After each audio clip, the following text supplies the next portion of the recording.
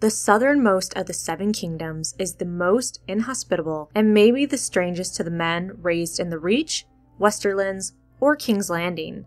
The children of the forest called Dorne the Empty Land, and they weren't wrong. Dorne has vast deserts of red and white sand, huge mountains with treacherous passes, said to be guarded by treacherous people, stifling heat, sandstorms, scorpions, poisons, fiery food, castles made of mud, and dates, figs, and blood oranges. The eastern half of Dorne is mostly barren scrub, with dry, stony soil that yields little even when properly irrigated. Western Dorne, beyond Vaith, is nothing but seemingly endless dunes and sandstorms that can strip the flesh from a man's bones within minutes. The Red Mountains make up Dorne's western and northern boundaries and have aided in keeping Dorne separate from the rest of the realm for thousands of years well, also with the help of the deserts. Beyond these mountains, more than three quarters of Dorne's land is an arid wasteland. The southern coast of Dorne is nearly as bad, with snarls of reefs and rocks. There are no forests along the southern coast of Dorne,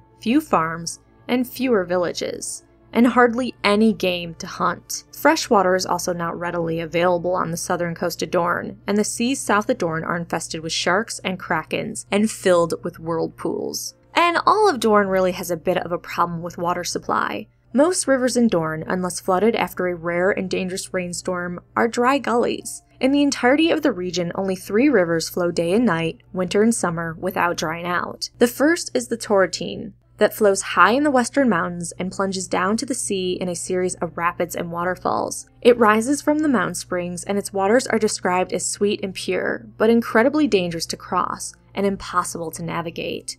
The second river, the Brimstone, is a calmer river with cloudy yellow waters that smell of sulfur. Plants that grow along the Brimstone's banks are often stunted and strange. And the third river is the Greenblood.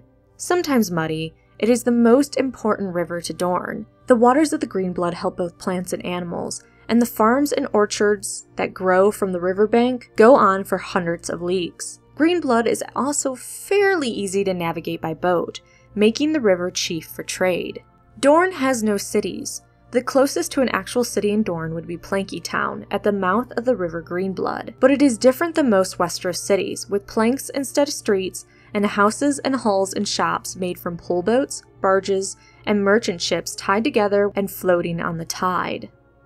Also, the mud and straw shadow city outside the walls of Sunspear is large enough to be a town, but not a city. Despite all the things said in this video that may make Dorne seem like not a fun place to live, the one thing Dorne can boast about is that their people are the oldest of the seven kingdoms of Westeros. The first men came afoot to Dorne over the land bridge from Essos, the remnants of this land bridge exist as the stepstones and the broken arm of Dorne. The first men would first set foot on Westerosi soil on the eastern shores of Dorne. And if you want to hear more about the first men, the children of the forest, and what led to the breaking of the arm, you can watch our Dawn Age and First Men video. But the general story is this. The first men migrated to Westeros through the land bridge, and when they started cutting down trees and claiming land, it angered the children of the forest. A war started that eventually led, according to legend, to the children working dark magic to destroy the bridge between Westeros and Essos, creating the current broken arm. While that is a legend, many maesters believe that the sea simply swallowed up most of the arm. This most likely took centuries and was caused by a series of long hot summers and short warm winters that melted the ice in the frozen lands beyond the Shivering Sea, causing the ocean to rise. There's even thought that the Sea of Dorne was once an inland freshwater sea, fed by the mountain streams until the narrow sea burst its bounds and drowned the salt marshes that lay between. Regardless, though, of how the arm broke, the first men had already stepped foot into Westeros first in Dorne, and the breaking of the arm wouldn't drive them out of Westeros. However, despite them first landing in Dorne, many that came to Dorne didn't stay there for long. Dorne's environment was too hostile for most of the first men. So harsh that even Garth Greenhand could not make flowers bloom in this environment, or so say the tales told in the Reach, even though Dorne's own stories never mention Garth. Garth Greenhand would lead his people through the mountains to settle the fertile Reach, and a lot of men would follow his lead and leave Dorne. But not all the first men left Dorne. Some men chose to settle the banks of the river they named Greenblood, and although it's not as big of a river as the Trident or Blackwater Rush, the Greenblood River is nevertheless considered the lifeblood of Dorne. These men saw beauty in Dorne and began to settle close to the Greenblood and dig canals and ditches to bring water to the trees and crops they planted. Other first men chose the eastern shores of Dorne to stay close to the sea, and villages quickly arose, sustained on fish and crabs. And still other first men went further north and chose to settle in the foothills south of the Red Mountains, where a fertile green belt existed due to the storms moving north and dropping moisture. Some first men climbed even further and settled in the peaks, hidden valleys, and high mountain meadows where the grass was green. The more adventurous first men decided to travel inland across the desert. A few managed to find water in the dunes and raised holdfast and castles on their found oasis. The descendants of these first men would be called the Lords of the Wells centuries later.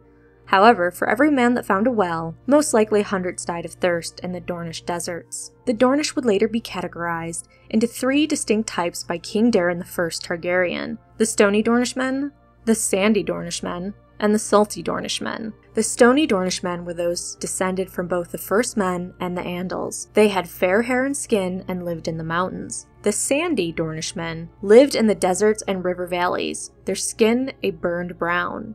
And the Salty Dornishmen lived on the coast, had dark hair, olive skin, and had most of the Rhoynish blood. The customs of the Salty Dornishmen are also said to be the strangest. So join us every Wednesday and Sunday for Game of Thrones slash A Song of Ice and Fire content. Dorne and House Martell history will be for the next month to month and a half, and then we'll move on to a new history.